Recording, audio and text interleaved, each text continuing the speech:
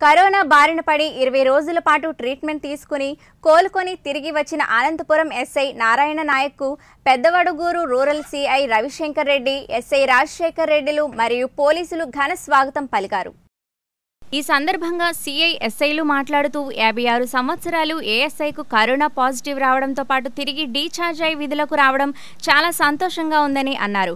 ఈ వయసులో కూడా గుండె ధైర్యంతో ఉండి పాజిటివ్ అధిగమించి ఆరోగ్యంగా ఉండడం చాలా సంతోషకరమైన విషయమని అన్నారు. కావున ఆయనను ఎస్పీ గారు కూడా ఘనంగా సన్మానించడం జరిగింది అని ఇప్పటికైనా ప్రజలు కూడా కరోనా వ్యాధి బారిన పడినా కూడా గుండె ధైర్యంతో ఉండాలని ప్రతి ఒక్కరూ ధైర్యంగా ఉంటేనే మనకు భయం కలిగించు భయంకరమైన వ్యాధి కాదు అని అన్నారు. ఎస్ఐకు ఘన స్వాగతం తెలిపిన వారిలో CI Ravishankar Reddy SI N Rajashekar Reddy Manikyam తదితరులు పాల్గొన్నారు.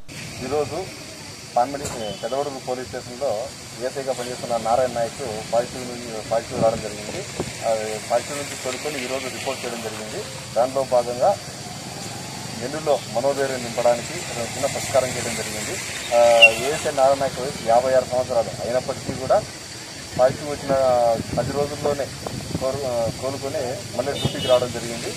అదే అదేవిధంగా అందరికీ సిబ్బంది తెలియజేయడం ఏమనగా వైరస్ కరోనా వైరస్ వచ్చిన తర్వాత ప్రికాషన్స్ తీసుకున్న దానికంటే కరోనా వైరస్ రాకోకుండా ముందుగానే జాగ్రత్తలు తీసుకోమని చెప్పేసి మా ఎస్పీ గారు చెప్పినట్టు అందరికి కూడా చెప్పడం జరిగింది.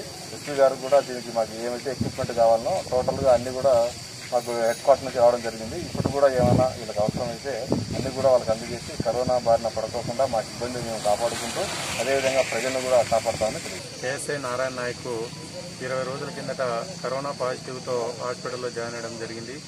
అదేవిధంగా కోలుకొని అతనికి యాభై ఆరు సంవత్సరాలు కోలుకొని ఈ రోజు విధులకు హాజరు కావడం జరిగింది.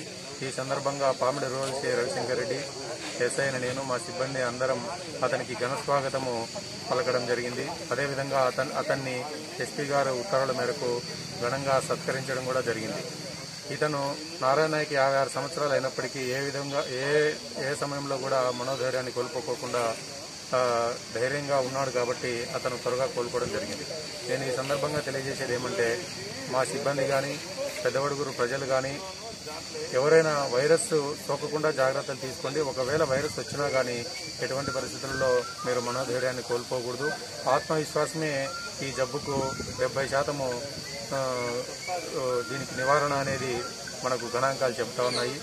ఇంకొక విషయం ఏమంటే ఆగస్టులో ఈ వైరస్ యొక్క తీవ్రత ఎక్కువగా ఉంటుంది కాబట్టి ప్రజలు ఎవరు అత్యవసరమైతే తప్ప ఇళ్ళలో నుంచి బయటికి రావద్దు. బయటికి ఒకవేళ వచ్చినా మాస్కులు ధరించండి.